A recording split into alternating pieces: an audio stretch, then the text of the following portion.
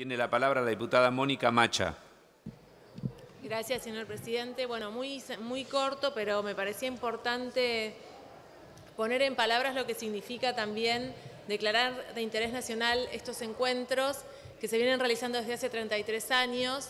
que en realidad lo habíamos pensado para el año pasado en Chubut, pero bueno, visto el funcionamiento del Congreso, se retrasó un poco. De todos modos, como estos encuentros continúan y este año la reunión va a ser en La Plata y ya hay compañeras que están organizándose y trabajando en los distintos talleres y en todas las instancias que implican una, una convocatoria de esta magnitud, me parece importante entonces destacar esta función porque en definitiva em, tal vez para muchos eh, y para muchas, no todas, yo participo, pero entiendo que no, no todas las mujeres participamos del Encuentro Nacional de Mujeres, me parece importante destacar que comenzó con, un grupo de compañeras, muchas sobrevivientes de la dictadura militar, que en el 85 plantearon la necesidad de tener estos ámbitos y en el 86 se comenzó con el primer encuentro. Encuentros que son, como decíamos recién, por, todos, por distintas ciudades del país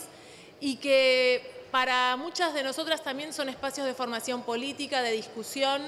de aprender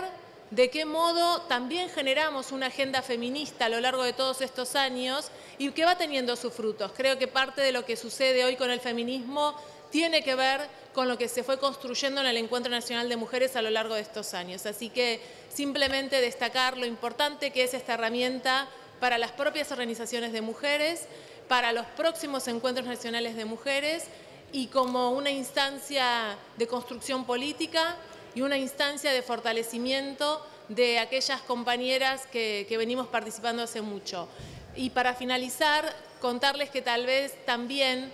eh, muchas podemos participar, decidimos participar, muchas eh, lo han hecho después de discusiones en el, en el contexto de su pareja, son tres, tres, tres días que, que las mujeres nos vamos de nuestros lugares domésticos de algún modo